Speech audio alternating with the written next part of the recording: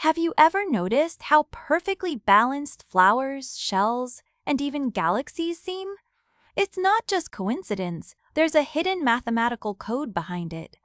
This mathematical pattern is called the golden ratio, a number as old as the universe itself. It's not just found in nature, it's also the reason why certain artwork looks so pleasing to the eye. Even our bodies follow this hidden rule.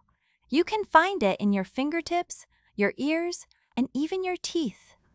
The golden ratio isn't just beauty, it's also efficiency. It helps leaves capture more sunlight.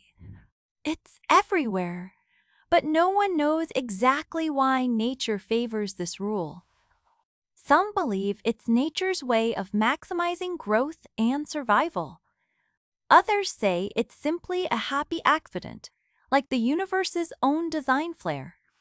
Either way, it's a beautiful reminder that even the tiniest patterns in nature are full of wonder. Next time you see a sunflower or a shell, take a closer look. The universe left its fingerprint.